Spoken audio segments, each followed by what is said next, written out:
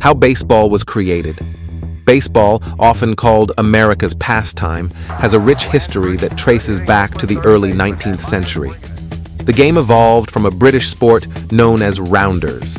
Rounders involved hitting a ball and running around bases, much like baseball, but with simpler rules and a larger, softer ball. This game, popular in England, was brought to North America by early settlers and gradually evolved into the sport we know today. In 1845, Alexander Cartwright of New York played a crucial role in shaping modern baseball. He formalized the rules, which distinguished baseball from rounders by introducing a smaller, harder ball and a more structured field layout. Cartwright's rules laid the foundation for baseball's standard regulations, setting the stage for its rapid growth in popularity. By the turn of the 20th century, baseball had established itself as a major sport in the United States. Initially, the baseballs used had a round rubber core, but in 1910, this was replaced by a livelier cork-centered ball. This new design increased the ball's resilience and improved the game's dynamics. Two decades later, the cushioned cork model was introduced, providing even more consistency in performance. One notable modification occurred in 1974, when a shortage of horsehide led manufacturers to switch to cowhide covers. This change was necessary due to a decrease in the horse population, which made horsehide scarce and expensive. Raw materials. A baseball consists of three primary components the core, often referred to as the pill, the windings, and the outer covering. Each component plays a critical role in the ball's performance, durability, and overall feel. The core, pill. At the heart of a baseball is the pill, a small sphere made of cork and rubber. The pill measures 13 16 of an inch, 2.06 centimeters, in diameter and is encased in two layers of rubber, a black inner layer and a red outer layer. These layers are meticulously crafted to ensure the pill is perfectly round and resilient. The black inner layer consists of two hemispheric shells joined by red rubber washers. This construction provides the necessary hardness and elasticity. Windings.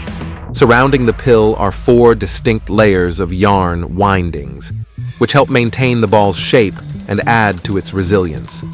The first wool layer is the thickest, bringing the unfinished ball's circumference to 7 to 3 4 inches, 19.68 centimeters.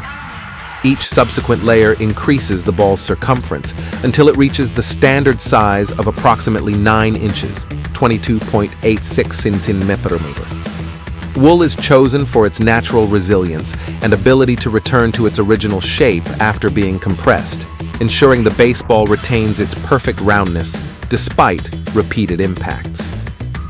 Outer cover. The outer cover of a baseball is made from number one grade, alum tanned full grain cowhide. This high quality leather is primarily sourced from Midwest Holstein cattle, known for their superior grain and smooth texture.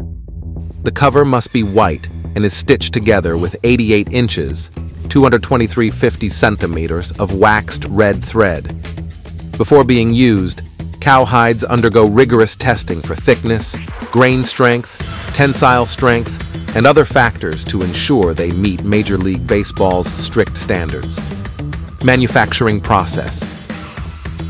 The manufacturing of a baseball is a meticulous process that involves molding rubber, winding fabric, and sewing cowhide under carefully controlled conditions. This ensures that each ball meets the exacting standards required for professional play. Molding rubber. The process begins with the creation of the pill.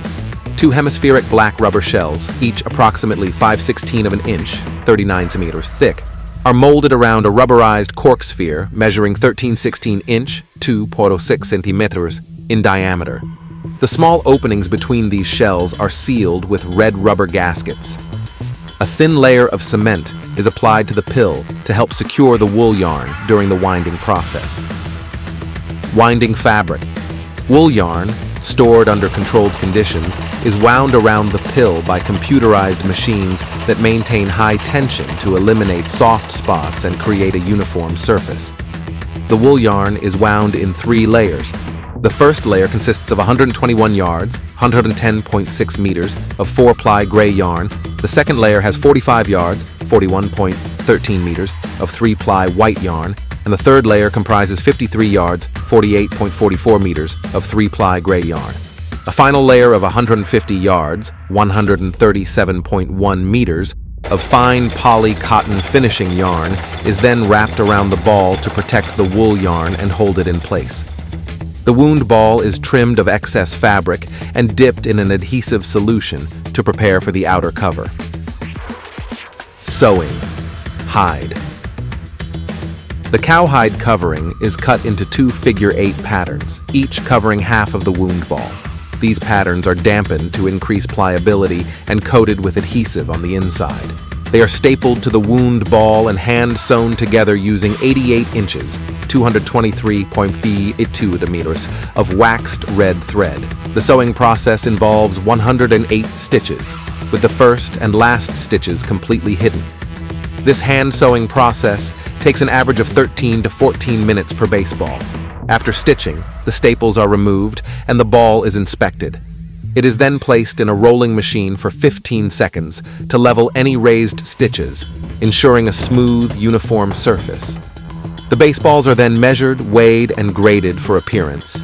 Acceptable baseballs are stamped with the manufacturer's trademark and league designation. Quality control. Quality control is a critical aspect of baseball manufacturing.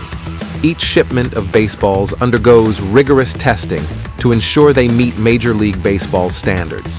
The key test is the coefficient of restitution, COR, which measures the ball's resiliency.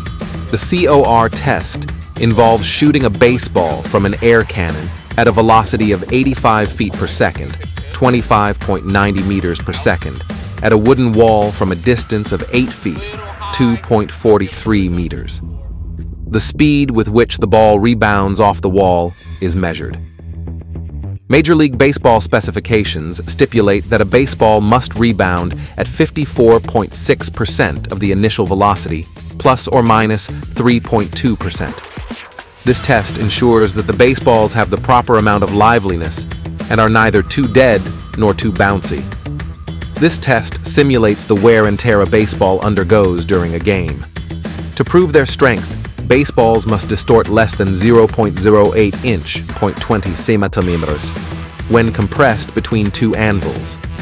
These stringent tests ensure that every baseball used in Major League games meets the highest standards of performance and durability. Baseball has long been celebrated as more than just a sport in the United States. It is an integral part of American culture and history. Mark Twain, the famous American writer, once described baseball as the very symbol, the outward and visible expression of the drive and push and rush and struggle of the raging, tearing, booming 19th century. This sentiment captures the spirit of baseball and its significance during a transformative period in American history. In the 19th century, baseball emerged as a favorite American sport because it was faster paced and more physical than its English predecessors, such as cricket, town ball, and rounders. Although cricket was played wherever English immigrants settled in the United States, Americans seemed to prefer the more aggressive nature of baseball. Initially played by gentlemen in fashionable clothing, the game and its equipment began to change once formal rules were written down in the 1840s. The game's popularity surged after the Civil War, becoming a unifying force in a nation healing from conflict. During this time, the baseball itself underwent several changes. The first baseballs used were too lively, often leading to scores that exceeded 100 runs. To address this, a less lively ball was introduced, but it proved too dead, as evidenced by a scoreless 24-inning game that convinced many that hitters were at a disadvantage.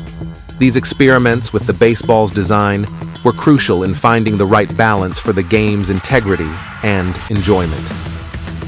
The marketing and mass production of baseballs played a crucial role in the sport's growth, and the establishment of its enduring legacy.